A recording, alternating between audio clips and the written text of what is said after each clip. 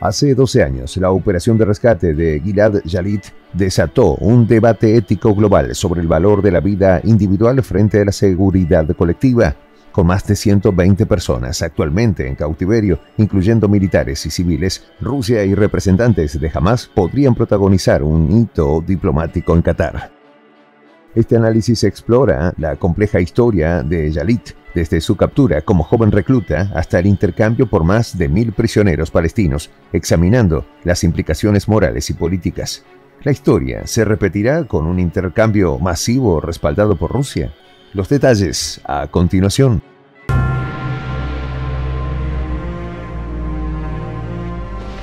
Voz de la Patria Grande. El ministro de Asuntos Exteriores de Rusia y los representantes de Hamas podrían celebrar negociaciones en Qatar sobre el regreso de los rehenes capturados. Según los últimos datos, los militantes mantienen actualmente cautivas a más de 120 personas, incluyendo personal militar y civiles. Esta información fue suministrada por una agencia de noticias occidental según un artículo publicado recientemente donde además se informó que desde el ataque de Hamas a Israel, el mensaje central de Vladimir Putin ha sido que este es un ejemplo del fracaso de la política de Estados Unidos en Medio Oriente. Este enfoque se ajusta al patrón general de Moscú que ataca lo que denomina hegemonía estadounidense. En otro informe de otro medio occidental se detalla que el canciller ruso Sergei Lavrov ha destacado que la solución al conflicto se basaría definitivamente en las resoluciones de la ONU así como en la idea de dos estados que convivan en paz y seguridad. Lavrov recalca que la postura de los países occidentales, fundamentada en el principio del apoyo incondicional a Israel, no contribuye a la resolución del enfrentamiento palestino-israelí. En el mismo artículo, Lavrov denuncia que la franja de Gaza se ha convertido en objetivo de operaciones de respuesta por parte de Israel. Las tensiones crecen significativamente en Cisjordania y aumenta el potencial de conflicto en la frontera entre el Líbano e Israel. Además, señala que Rusia no puede estar de acuerdo con aquellos que consideran que la seguridad se alcanza exclusivamente luchando contra el extremismo y critica el incumplimiento de las resoluciones sobre Palestina aprobadas por las Naciones Unidas. En medio de todas estas declaraciones oficiales se dejó filtrar la información de que Rusia podría desempeñar ese papel fundamental en la liberación de los rehenes, lo cual es lo más esperado por los familiares de las víctimas, dejando a un lado pasiones políticas que en general son las que tienen divididas a toda la región por la influencia de Estados Unidos. Cuando la gente habla hoy de israelíes capturados por militantes, todos los residentes de este país recuerdan casi de inmediato el acuerdo Shalit Hace exactamente 12 años terminó una operación de 5 años para traer a casa a un cabo de las Fuerzas de Defensa de Israel llamado Gilad Jalit. El 11 de octubre de 2011 pudo abrazar a sus padres, su hermano mayor y su hermana menor. En ese momento, el movimiento por la liberación había capturado al mundo entero. Gilad se convirtió en ciudadano honorario de Roma, Miami, Pittsburgh y El Bob. En París, se inauguró una placa conmemorativa en honor a su liberación.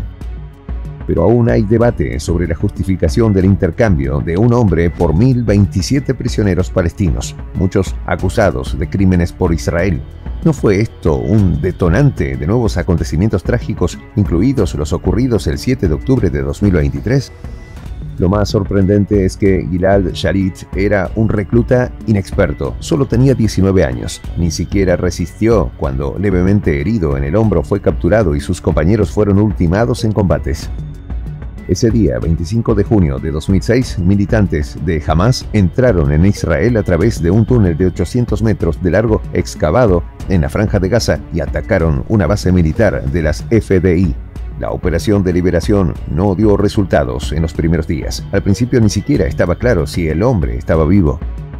Sin embargo, los líderes de Hamas pronto proporcionaron pruebas irrefutables de que Gilad no había sido eliminado. Era una carta escrita en su mano. Se dijo que lo estaban tratando bien y que un médico palestino estaba tratando su hombro. Al mismo tiempo, Hamas planteó exigencias aparentemente imposibles. El soldado sería devuelto solo a cambio de mil militares palestinos encarcelados, así como prisioneras palestinas y menores convictos. Naturalmente, Israel rechazó categóricamente todas estas demandas. Pasó el tiempo y de repente la campaña para liberar a Gilad, por iniciativa personal de sus familiares, organizaciones religiosas y de derechos humanos, se convirtió en un movimiento global de masas. En muchos países se llevaron a cabo acciones y manifestaciones en apoyo a Yalit. Se organizó una marcha en su honor con la participación de más de 10.000 personas. Fue entonces cuando la Federación Rusa, bajo liderazgo de Dmitry Medvedev, entonces presidente de la Federación, pidió pacíficamente la libertad de Gilad Shalit.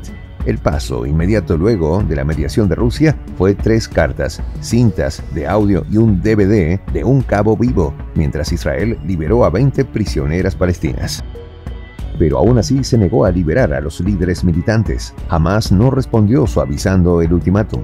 Los padres de Yalit montaron una tienda de campaña a la entrada de la residencia del primer ministro en Jerusalén, donde se sentaron durante un año y estuvieron listos para sentarse hasta que su hijo fuera liberado. De una simple operación de liberación, en algún momento se convirtió literalmente en un dilema filosófico que fue discutido incluso por científicos universitarios en Israel. ¿Qué es más importante, la santidad y el valor inestimable de la vida de uno o el bien y la seguridad de muchos, individuo o sociedad. Jamás, en respuesta, no sufrió una investigación moral y no ocultó particularmente el hecho de que Gilad Shalit no sería el último y que las tácticas de tomar rehenes israelíes continuarían. Cientos de partidarios de Hamas en Cisjordania ondearon banderas de Hamas y corearon Queremos un nuevo Gilad Shalit.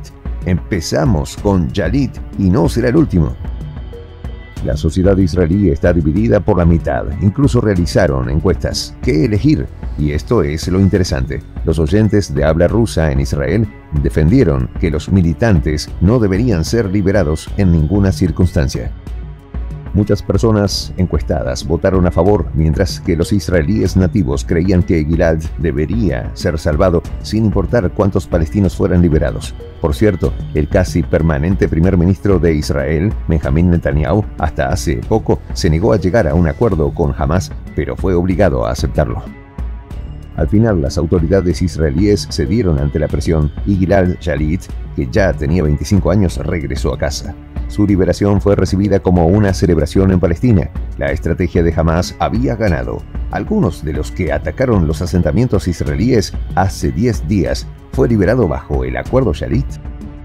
El cabo rescatado sigue vivo, tiene 37 años, aparece periódicamente en los medios. Su padre, que fue el impulsor de la operación de rescate, se postuló para el Parlamento. ¿Cuánto pueden exigir ahora los militantes de Hamas por la liberación de los rehenes? ¿Estarán de acuerdo las autoridades israelíes con esto? Hasta ahora, aparentemente, han elegido una táctica diferente y también bastante ambigua desde el punto de vista del humanismo y del valor de la vida humana. Hoy los casi 2 millones de habitantes de Gaza, de los cuales más de un millón son menores, están detenidos rehenes bajo el hambre, sed y bombardeos. Soy el J Juan José del Castillo, director del canal Prensa Alternativa. Si quieres ser parte de la comunidad de la Patria Grande, suscríbete a nuestro canal. Si es que quieres que te lleguen las notificaciones cada vez que subimos un video, activa la campanita. Si quieres apoyar a nuestro canal económicamente, puedes hacerlo a través de PayPal. El enlace está en la descripción del video. A nombre del equipo de prensa alternativa, me despido con esta expresión en el quechua milenario, Tupananchis Kama, cuya traducción es hasta volvernos a encontrar.